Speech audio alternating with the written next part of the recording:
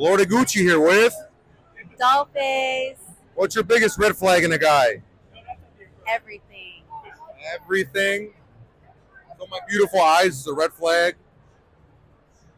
That's how I know you're toxic. Ah, My size 14 feet are a red flag. the size 14 feet and the green eyes, blue eyes. Yeah, I don't know. They're multicolored. It's multicolored. There you go. What's your most embarrassing moment in the industry?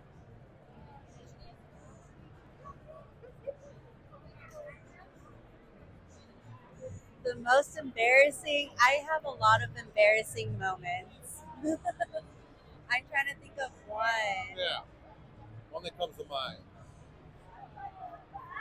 You know what? Someone on cam made me laugh, and I tooted. Okay. Boogers come out when you said that. You like all right. boogers? Why? No. Why? That's your turn on?